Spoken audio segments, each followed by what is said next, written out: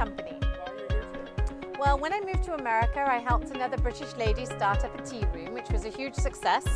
But when I moved to the West Coast, um, I decided to do it more at fairs and festivals. So I built up this collection and I go to fairs and festivals and sell my teas. So I have um, lots of different products here.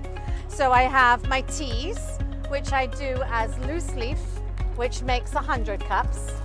And then out of the loose leaf, I make tea bags. So they're made from the same quality tea, and these make 48 cups.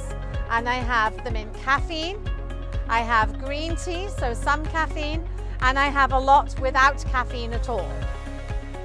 So these things here are for tea bags. So instead of wrapping your tea bag around the handle, it hangs it from above so it never falls in and then becomes a dish to put it in because you're going to use it three times. So this one here is my As Seen on British TV.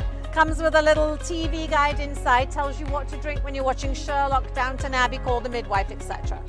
This one, I'm a real hobbit, I'm from the Shires of Middle-earth, so I had Bilbo Baggins write me a diary, and inside he tells you what to drink for second breakfast, elevenses, and all the other hobbit meals.